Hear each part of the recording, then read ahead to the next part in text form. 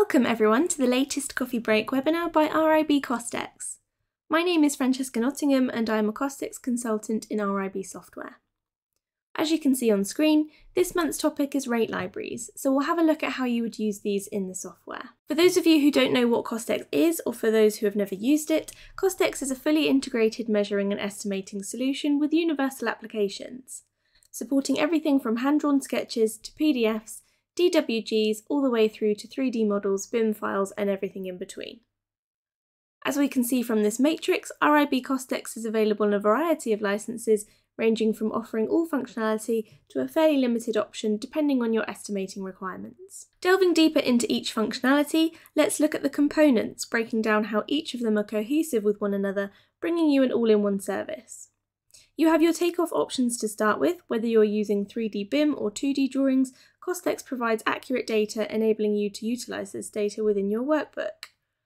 So our workbooks are just like Excel spreadsheets, but they are our own version. They still have the ability to use formulas and functions, making them very easy to navigate and use. We then have revisions tracking. Now this offers an accurate method of comparing a previous revision with a new one, giving you multiple ways to highlight, identify and quantify any changes meaning you're always up to date with the latest cost implications. Once you've completed your estimate, you then have the opportunity to produce a report. Now we offer various standard report templates for you to use. Alternatively, you can customise your own report, producing a professional quality output. Don't forget to check out the RIB CostX YouTube channel where we upload our coffee break webinars and you can also subscribe so you get notified of the latest videos and kept up to date with the newest features and how-to videos. So this month's webinar, as previously mentioned, we'll be reviewing the functionality of rate libraries used in the workbook view within CostX. Firstly, let's discuss what rate libraries are. So they allow the ability to build up your cost estimate from a central database of rates. So we use these in our workbooks. They are accessed in a similar way to dimension groups and are managed within the system administration. The topics we'll be exploring in this webinar are adding a new rate library, importing a rate library, editing a rate library, composite rates in the rate library and using rate libraries in workbooks. So let's take a look at rate libraries. Firstly, let's look at where we can access rate libraries from. So we're in the workbook view and you can see where we would normally pick up our dimension groups. There are also a number of other libraries to access, one of which is rates. So you can see I have a list here of various rate libraries that I can access. These are managed in the system administration. So let's open this up and take a look at how we would add a new rate library. So again, you can see my list here that I've got available. Let's actually see how we would add a rate library within the system. So I would just need to go to this button here, so insert, and we're just going to give this a name of webinar rates. So this is the name of your rate library, okay? And then we'll press insert. Once we've got that, we can go in uh, and we can start to add the rates that we want to add. So let's say we're going to add in um, a concrete item. So an item code, we'll call it con. We'll give it a location, so default location. And then in the description, we'll give it 20 MPa concrete. Okay, we can then give it a rate group. Um, so let's just call this substructure and give it a unit of measurement. So this is going to be meters cubed.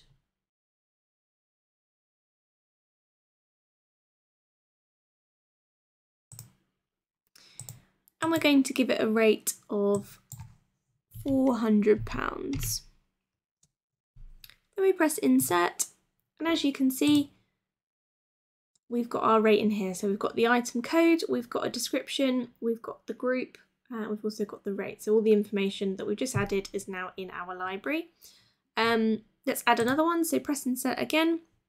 And this is going to be for reinforcement steel. So my code is going to be Rio steel. My location again is going to be default location. And we're just going to call this reinforcement steel. My rate group is going to be substructure again. My unit of measure is going to be kilograms this time.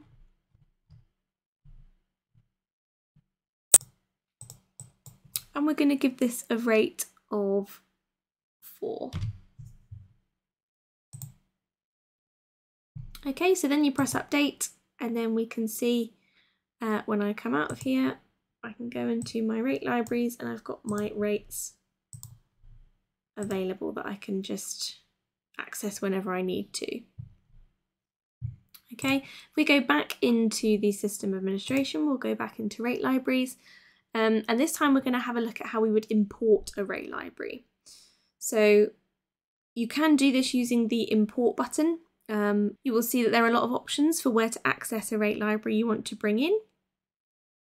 We'll be bringing ours in via uh, import CostX CSV. So what I'll do is I'll show you the CSV file uh, first that we're going to bring in um, and then show you what that looks like and then we're going to bring it in using this um, option. So I will find the file for you. Okay, so this is my CSV file. So this is my rate library that I've created in Excel. Uh, let's just make it a bit bigger.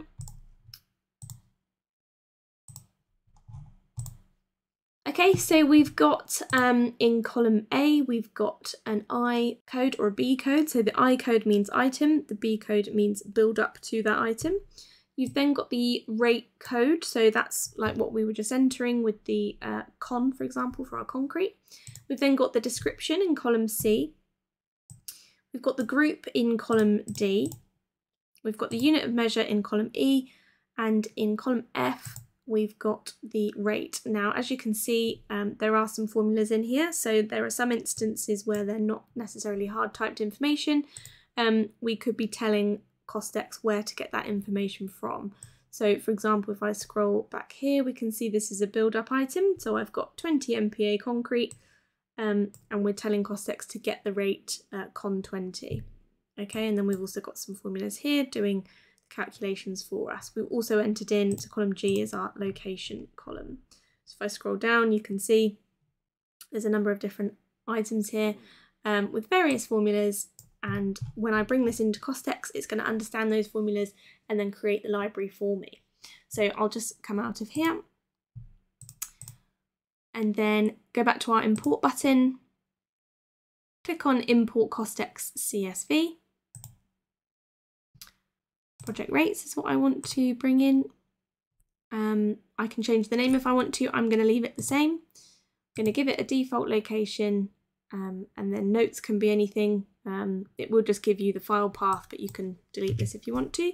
Press OK. So now it's been brought into our rate libraries in our system administration.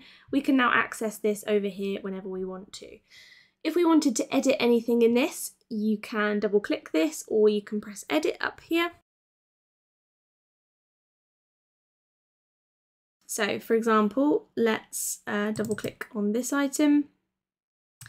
And it's £85 here. And if I wanted to update it to £90, we'll update and you can see that's now updated there. Now that was an item with just a fixed figure. If you do have an item, for example, which might be um, a build up, so it's built up of multiple different rates, um, which ultimately gives your uh, total rate. So let's find an example. Uh, I can show you how you would go about um, editing that. So let's take our ceiling finishes, for example. So I will double click into here. You can see this field has now been greyed out and that is because there's build up behind it. I can't just type over that and uh, give it a new rate. I have to go in and see what the build up is. So I can select this button here and this takes me to a new window which shows me exactly how this was built up. So I can see that there's three um, build up items here, each with their own rate um, and I can see how we got to the total of £72.50. Um, if I select the green text, you can see, uh, like what I was showing you on the CSV file earlier, you've got the formula of equals x get rate, and then it's asking uh, for, or it's looking for the code, uh, the item code or the rate code, um, which is allocated to that specific item. So you can come in here and you can edit this how you want to.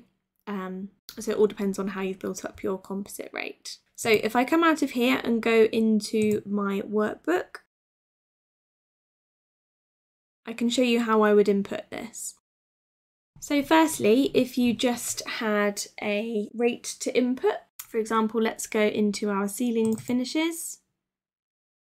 Um, let's go to our project rates and go into ceiling finishes. We can literally just pick this up,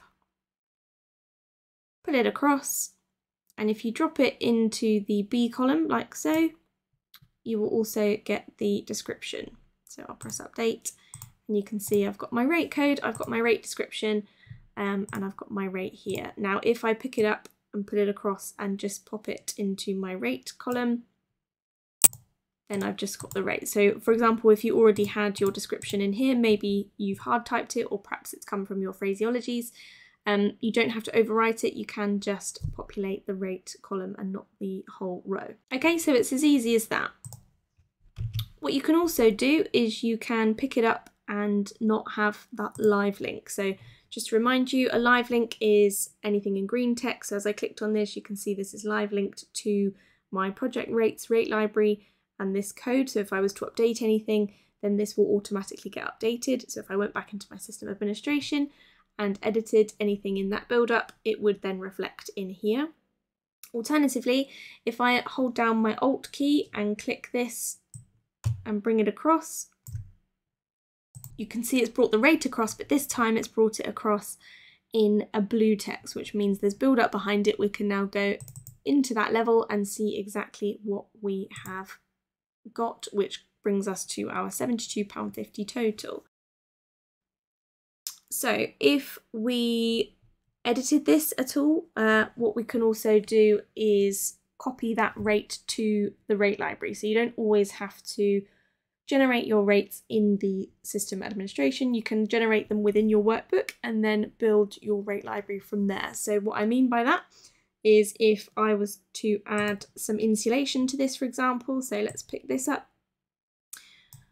populate this, press update and give it a quantity. You can see my rate has now updated to £90.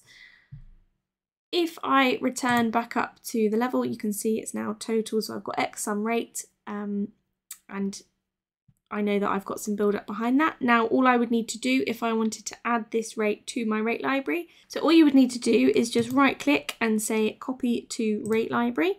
Now this window pops up and you want it to go into the rate library that we're working in, so project rates. You need to enter an item code, so I'm just going to call this um, PLB INS because it's my plasterboard with the insulation. You need the location, so default location. You've got your description, so I'm going to change this to and insulation. You can change the rate group, so I'm going to put this in ceiling finishes. Um, you can change the unit of measure if you want to, you can alter the rate, um, and you've got this option down here, so maintain live links. Um, this will make sure that anything that's pulled over will be automatically updated if you change anything in your rate library. So let's just click insert and you can see that's now made available in my rate library. So you don't necessarily have to generate your rate library outside of CostX. Um, you don't necessarily have to generate your rate library within the system admin. You can do it from your workbook, like I just showed you with copying it to a rate library. So depending on how you want to manage it, you can have a database outside of CostX, like I showed you with the Excel spreadsheet. Um, might be easier for you to update that way. Alternatively, you can do it within the system. That draws a conclusion to the Rate Libraries webinar. Thank you so much for listening and I hope you found this useful. Please subscribe to our channel if you want to be updated with the latest how-to videos and tips and tricks and please like this video if you found it useful.